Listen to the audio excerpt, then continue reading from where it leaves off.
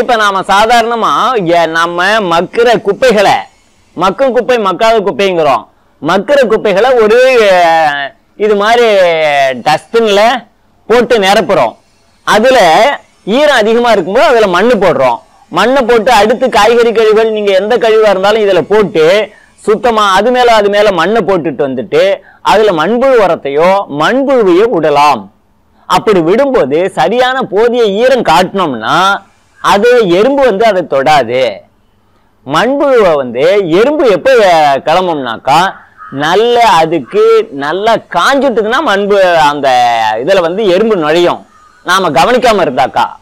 அதை அப்பப்போ நாம் கிளறி விட்டு தண்ணியை தெளிச்சோம்னா எறும்பு உள்ளே வராது ஒன்று அதே நேரத்தில் எறும்பால் அதை எந்த பாதிப்பும் வராது. நாம் கவனிச்சாக்கா பாதிப்பு இல்லை. நாம் கண்டுக்காமல் இருந்தால் தான் அதிகமான எறும்பு புத்து அதுக்குள்ளே நுழைஞ்சிடும்.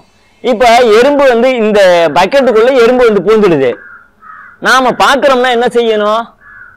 கொஞ்சம் மஞ்சப்பொடியை தண்ணியில் கரைச்சி அதில் தெளிங்க. இல்லை கொஞ்சோண்டு கற்பூரத்தை நம்ம சாதாரண சூடம் இருக்கு இல்லையா? அந்த சூடத்தை லேசாக நுணுக்கி போட்டு தண்ணியை தெளிங்க. எறும்பு தானே எஸ்கேப் ஆகிடுது ஆக அது மாதிரி போடலாமா வேணாமாங்கிற சந்தேகமே வேண்டாம்.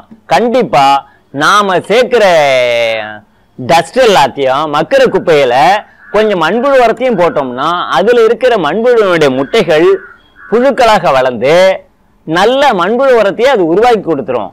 அதுக்காக கவலைப்பட வேண்டாம் அது ஒன்றும் ஆகாது.